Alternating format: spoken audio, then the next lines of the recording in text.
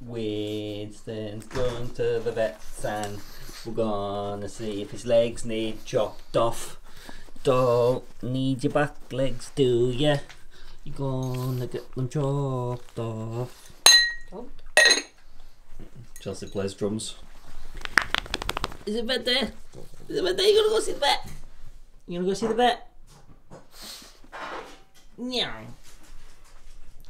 Hello, Pubs. You hello.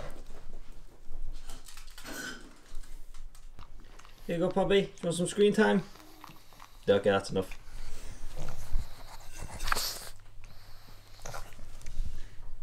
You gonna take the walrus to see the? You gonna show the vets? Yeah, take your walrus to see the vets. I'm sure they would like a walrus very much. Do you get front seat privileges as well? Yeah. It's not bright today. Bright today. Get the vet. Are you gonna go to the vet? Yeah. Yeah. Are you excited? What? Really? Who said that? Down we go. I win. I'll be back soon. Okay. There he goes.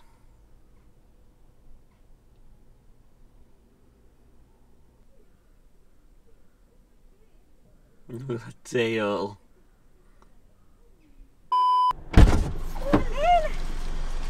Tate. Where have you been? Where have you been? Gonna need my legs chopped off, Dad. So, your legs chopped off. only way. Oh dear. It's only way, Dad. Sorry. Oh dear. Um, I'm, I'm actually really healthy, Dad. You're actually really healthy. Wow. Feel good. Na na na na na na na. What did the vet say then, Tin? Why are you clicking so much then? So, oh yeah, I need to use my hands as a diagram here. Okay.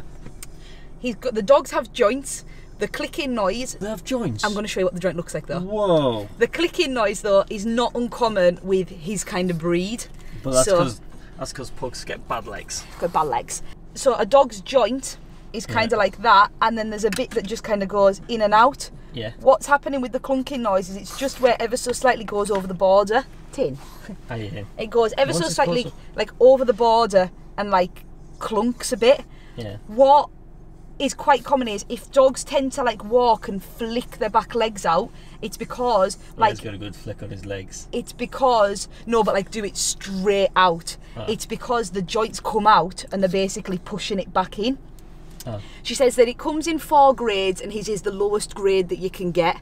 Um, normally you notice it more with the leg flicks than you do the noise, but obviously we've noticed the noise first. Um, but otherwise, all we need to do is, unfortunately, because he's such a tall boy, he just needs more muscle. More muscle. He needs to build muscle on his back legs and his hind quarters. So she said lots of walks up hills. Every day's leg day for win. Yeah. She said lots of walks up hills is going to be the best bet for him and really let him kind of like power and pull up. Um, Gonna go mountain climbing.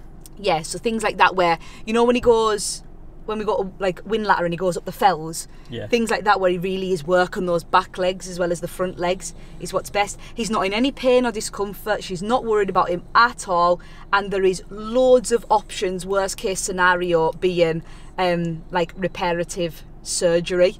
So it's Bionic legs for win. it's not got it's not like uh, it's not giving him any discomfort, any um, what do you call it when it's like poor quality of life or anything like that. She said they've got the, a joint supplement that we can spray on his food that kind of it's not necessary right now, but that would help. But they didn't have any in stock, and also she said that because of his age, she's not too worried. But obviously, who had to go in the room on his own and be away from his mummy, so decided to cry at the door. Oh no, win. right, mister. Should we get you home to see your brother? And you can have a run around and get them legs exercised. Yeah, thanks, Dad. Okay, let's go. Oh, George! Hiya, Bobs. Well, you're excited to see me. Dan's excited to see Win. And Win's excited to see me. I don't know. I think Chelsea explained that very well, so I don't need to say any more. So what we'll do is we'll update you guys once we figure out what we're going to do because we don't know whether we're going to adjust his diet. We'll have to figure out like a routine for him, maybe like an exercise routine, maybe do like hydrotherapy, do something. We're not sure yet. We'll figure it out. We'll let you guys know what we're doing, and then obviously we'll update you his progress, how he's getting on in a months, for two months' time, whatever we figure out what we're going to do. But yeah, if you do get this problem with your pug, do go get it checked out. Whether they're young or old, it's concerning both ways. Like Chelsea said, it's the class that's like tier one, they're not worried about it at all, but still go get it checked out. Don't just think because it's fine for Winston, it'll be fine for your pug. Fortunately, it is nothing, so we're dead pleased about that. We just need to get him a bit fat because he's a bit skinny. So, I mean, that's fine. That's a problem we can solve. So, excellent. So hope you guys enjoyed. Like, comment, subscribe if you did, and peace out everyone.